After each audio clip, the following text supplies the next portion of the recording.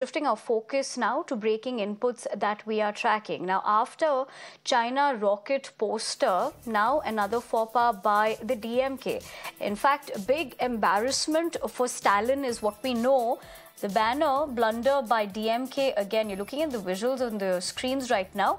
A Stalin being shown as bride of Tamil Nadu, and Stalin has been turned into a bride as we speak. Of these visuals on your screens of another pas by the party. Dharani, my colleague, joins me for more.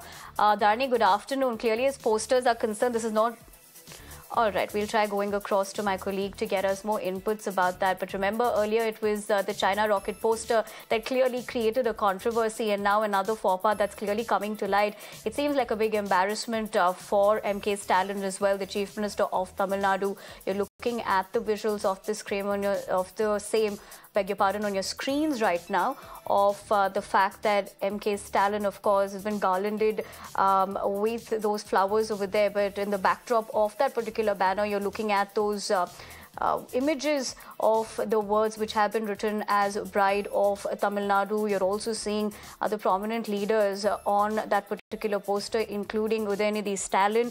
Um, it seems like, of course, this is an embarrassing moment for uh, the Chief Minister of Tamil Nadu. But this is, of course, being seen as another faux by the DMK. This is because of the fact that uh, many of the posters, of course, have uh, got them in the middle uh, of the ice storm in terms of controversy after the China rocket poster that we did see a lot of massive showdown and a back and forth. We're looking at the latest one.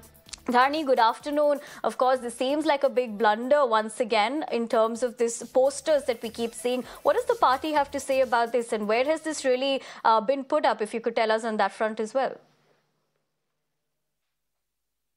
Uh, well, uh, this poster was put up, uh, you know, as part of uh, Chief Minister M.K. Stalin's 71st birthday celebrations.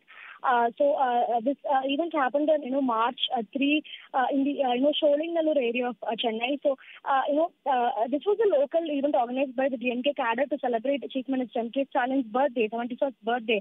And very clearly you can, you know, see in the, you know, banner that instead of writing Pride of Tamil Nadu, they've written Bride of Tamil Nadu. So, definitely this seems to be a blunder from the side of the person who, you know, uh, designed this, uh, you know, banner.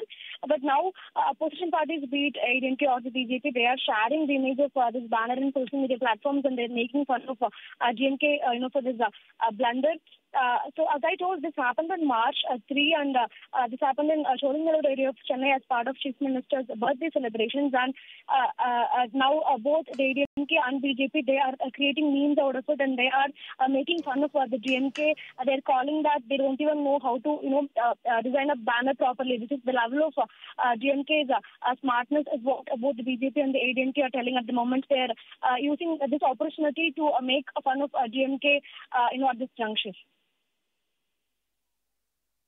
Right, Dharani, as you rightly put, probably at this particular time, political parties making the best use of also looking at this social media game. But for the moment, let's leave it at that.